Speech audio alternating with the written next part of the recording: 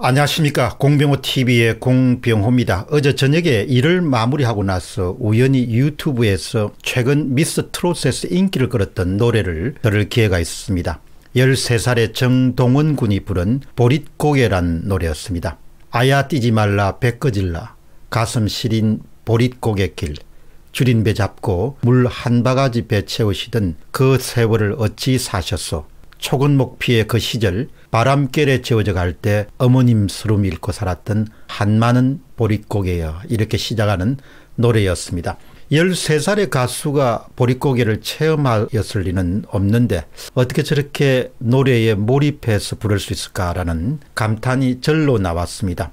노래를 부르는 광경을 목격하고 있던 연예인들은 대부분 즐거워했습니다. 그 젊은 연예인들은 근데 이들 가운데 한 명이 보릿고기를 직접 불렀던 진성 씨였습니다. 가수 진성 씨. 그런 1960년생으로 전북 부안군 출신입니다. 다른 젊은 연예인들은 모두 다 노래를 들으면서 즐거워했지만 진성 씨만 물끄러미 쳐다보면서 가끔 눈물을 흘리는 그런 광경이 텔레비전에 비추었습니다. 제 생각에 그날 참석한 여러 연예인들 가운데 유일하게 귀로 듣는 것이 아니라 가슴으로 그 노래를 들었던 사람은 원래 그 노래를 불렀던 가수 진성씨 뿐이었을 것이다. 그런 생각을 하게 됩니다. 여러분이 아시다시피 보릿고개는 가을 수확이 다 끝나고 난 다음에 햇보리가 아직 식량으로 쓰기엔 여물기 전에 식량이 없었기 때문에 풀뿌리와 나무 껍질로 끼니를 때우던 5월달과 6월달에 춘궁기를 부르는 말입니다. 보릿고개는 우리가 산업화 시대의 대장정을 성공시키기 이전에 조선조부터 시작해서 한국인의 일상적인 그런 가난이었습니다. 다음 질문은 보릿고개 세대가 보는 사이로 총선입니다. 오늘날 집마다 조금씩 사정이 다르겠지만 70대 아버지와 분간 40대 아들은 정치 문제만 나오면 다투게 됩니다. 60대 저보다는 어머니와 30대 딸도 티격태격 다투게 됩니다. 유독 사회 문제와 정치 문제 특히 문재인 정부를 어떻게 볼 것인가라는 그런 주제가 나오면은 70대와 40대 사이의 갈등, 60대와 30대 사이의 갈등은 많은 가정에서 목격할 수 있습니다. 그러니까 30대와 40대는 주로 더불어민주당이든 진보 색채가 강한 좌파 색채가 강한 그런 여당을 지지하고 대개 60대와 70대 가운데서는 대부분 미래통합당을 중심으로 한 보수 색채가 짙은 그런 정당을 지지합니다.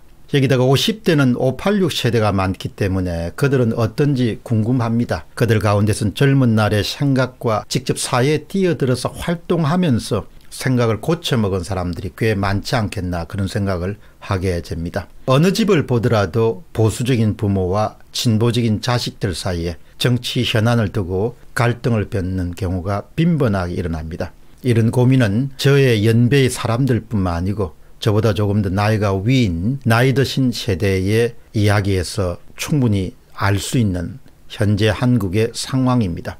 저는 1960년생입니다. 586 세대를 살짝 벗어난 세대지만 남도의 소도시에서 성장했기 때문에 가난한 시절을 상당 부분 기억을 하고 있습니다.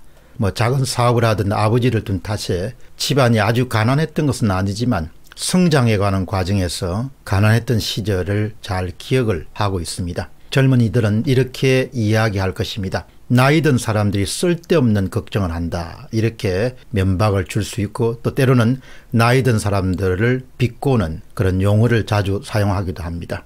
그러나 나이 든 세대들은 젊은이들이 책이나 유튜브를 통해서 알 수 없는 그런 직접 체험을 통해서 얻는 삶의 지혜란 것을 가진 사람들입니다. 그들은 살아온 날들의 짙은 체험을 통해서 많은 것을 압니다. 그들은 지금 두 가지 걱정을 합니다. 하나는 이렇게 나라가 가다가는 나라가 다시 가난해질 수 있다는 그런 걱정입니다. 다른 또 한 가지는 자신들이 누리는 자유가 심하게 침해되어서 자유사회를 유지하기 힘들 수 있다는 그런 걱정을 합니다.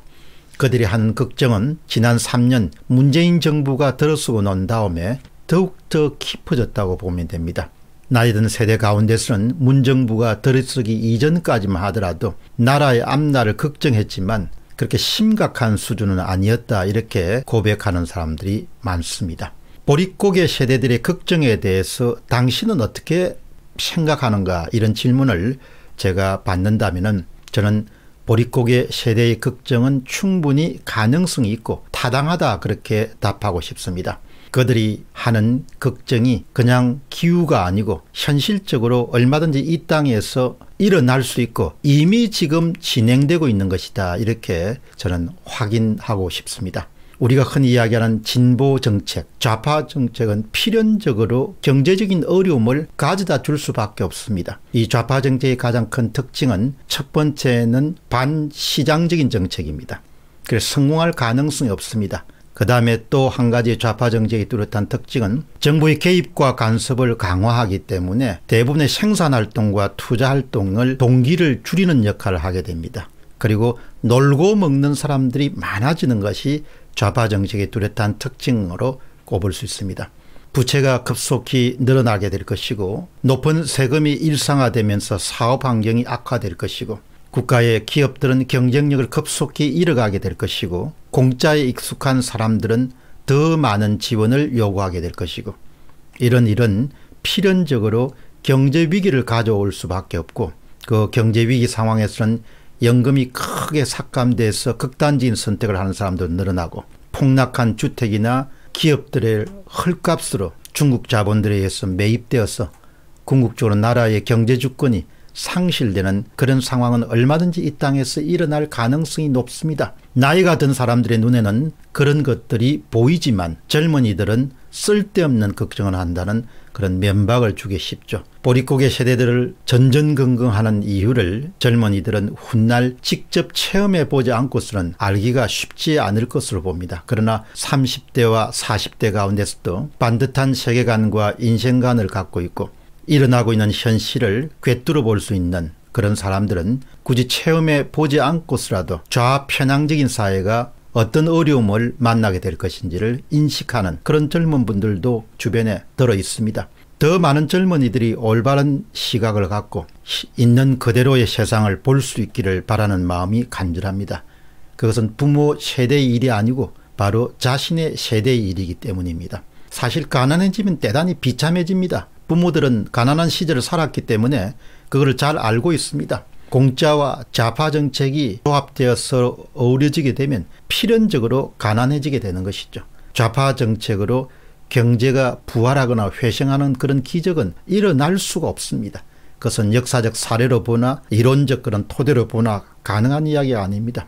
요즘 한국을 보면 1981년에 그리스를 보는 그런 착각을 갖게 됩니다. 아주 잘 나가던 그리스가 1981년도에 좌파 정치인인 안드레이 파판드레오 1919년생이고 1996년에 죽었습니다. 안드레이 파판드레오라는 좌파 정치인에 의해서 완전히 포퓰리즘으로 무장한 좌파 정책으로 나라의 방향이 순회되는 그런 시절을 자주 떠올리게 됩니다. 우리가 두 가지는 반드시 기억을 해야 됩니다. 하나는 가난해지면 비참해집니다. 자유를 잃으면 또한 비참해집니다. 소중한 것은 잃어버리기 전에 잘 간직할 수 있는 그런 사람이 지혜로운 자다 그렇게 볼 수 있습니다. 저는 대한민국의 모든 국민들이 30대건 40대건 50대건 간에 지혜로운 자의 그런 대열에 들었을 수 있기를 바라는 마음 간절합니다. 공병호 TV의 공병호였습니다. 감사합니다.